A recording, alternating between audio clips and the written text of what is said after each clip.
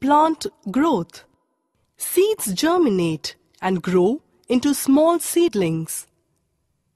These seedlings require certain conditions for their growth. Proper light and temperature are required for the formation of leaves and the development of chlorophyll in the leaves. Experiment Aim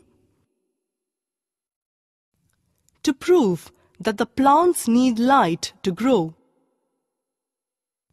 Materials required 2 garden pots, garden soil,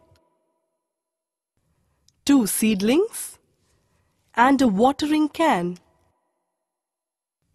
Procedure Step 1 Fill some garden soil into the two pots. Step 2 Plant a seedling of the same plant in each of the pots. Step 3 Keep one pot in the light and water it daily. Step 4 Keep the other pot in the dark and don't water it.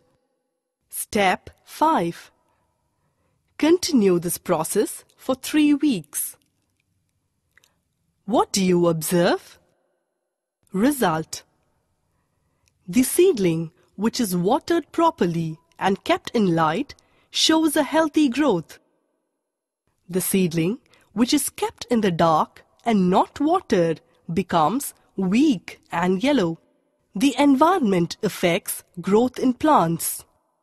It affects the length of the shoot, the depth of the root, and the number and size of the leaves.